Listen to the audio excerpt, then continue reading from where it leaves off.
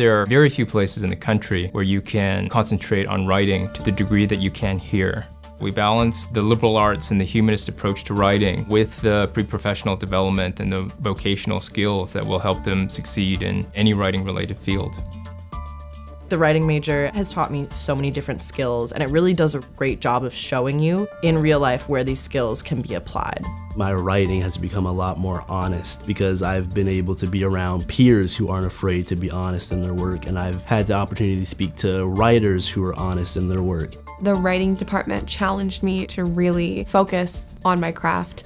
I now pay very close attention to every word that I put on the page and I spend more time editing and revising than I ever have before.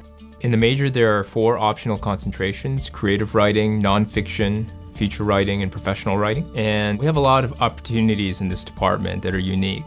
For example, every semester we bring writers in the genres of fiction, poetry, and nonfiction to campus.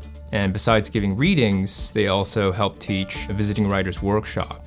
You get to have lunch with the writer, you get to take two classes where they teach you about their craft, and then you get a one-on-one -on -one meeting with them and they edit and they discuss the work that you submitted. So those opportunities are great as well as opportunities to practice and test my work. They do the student showcases twice a semester where you get to read either work you've done in class or personal work.